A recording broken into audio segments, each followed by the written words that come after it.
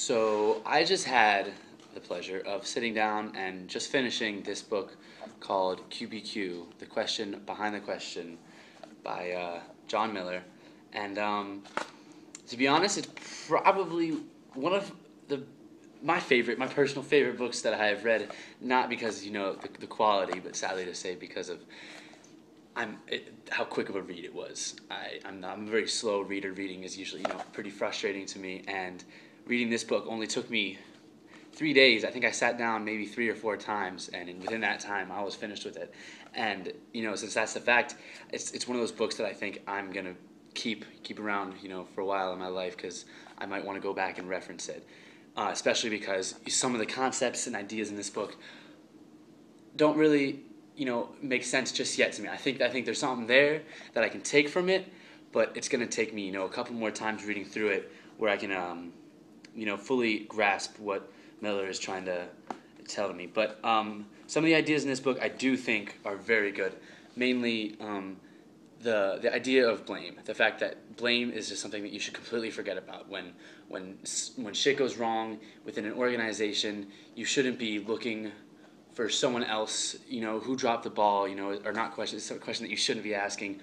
Why isn't that department? Why weren't they doing you know what they were supposed to be doing? And you know, questions like those are questions that you should just not even let into your brain. Obviously, you know that's not you know it's going to be kind of hard to not you know to keep those questions out because Miller uh, uses the question behind the question off the basis that our first initial actions or first initial thoughts on something are negative thoughts, which is the whole reason behind the question behind the question is that we should, you know, further analyze our first initial thoughts to think, you know, is that really what the situation is? Is this really what you know is going on here? And i get that and i really do get that but the parts where i, I don't see that really helping me is that when it comes to decision making in one's life um, you know we make thousands millions of decisions daily. As miller says in the book you know even the choice not to do something is still a decision that we make and um, the question behind the question tells us that are those decisions really the best the best that you can do? Is that really you working to your full potential?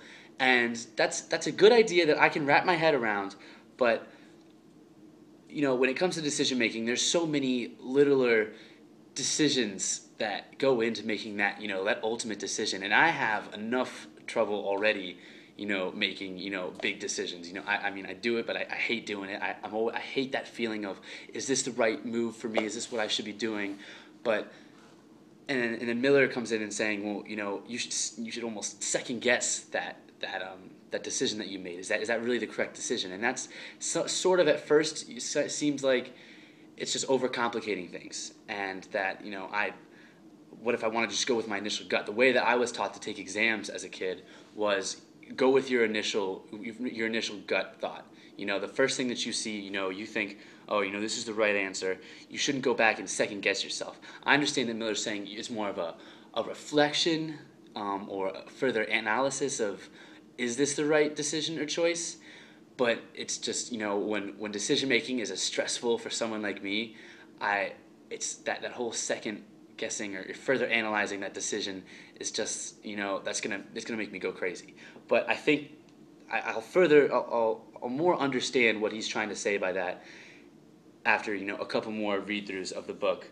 Um, the other idea that I, I, really like and that I think is I have a problem with myself and that I'm going to try to fix after reading this book is worrying about other people. When when I when I have a job and I, and I you know something goes wrong, my first thought is not, oh man, what did, what did I do wrong? It was I like maybe or what can I do better to prevent this? My first initial thought is, who the hell's fault is this? And, and, something needs to happen to them. You know, that's you know we can move on after, but we need to, you know, look at why like, why it has happened and you know whose fault it is that happened. And Miller says, you know, that's not something you should be worried about.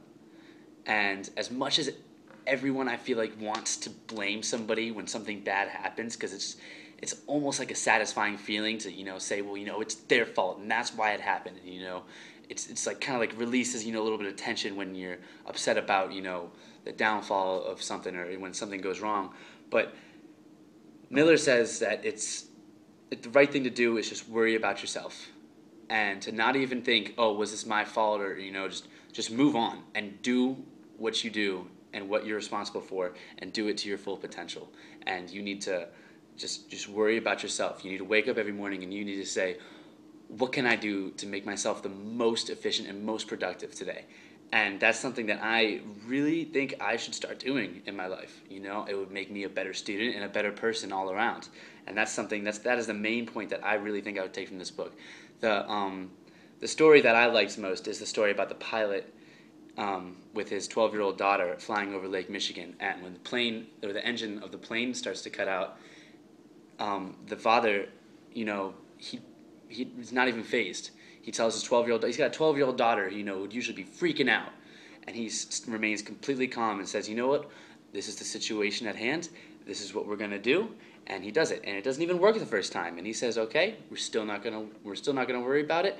We're going to try to nosedive and, you know, do something completely dangerous. It's going to risk our lives but it's it's for it's for what you know it's what I got to do. I'm working with the situations I got. I don't have an engine on my plane right now, but I'm not gonna let that stop me. You know, I'm gonna keep I'm gonna keep going until until I can't. I know I can't do anything anymore. You know, and and him not doing anything anymore would ultimately be you know him crashing into Lake Michigan. But I thought that was that was really interesting, especially at the end when Miller says, you know, any any engines cut out on you recently, and you know, I thought, yeah, yeah. I mean, nothing as tragic as you know a plane engine that I'm flying, but but yeah, you know, there are a lot of things that you know have been these little like you know speed bumps in you know in my life, but and and I can even think of multiple uh, situations recently, but and in those situations, I just looked for blame for other people, and you know, I think that's I, I, could have taken a better approach now looking back at it. I kind of wish, you know, this semester had started a little bit earlier and I had to read this book before those situations happened. But now that I have read this, and I, I think I could go back and I could handle those situations so much better than I did before. And that is the main thing that I took from the question behind the question book by John Miller, and that'll hopefully make me, you know, a better person in, in general.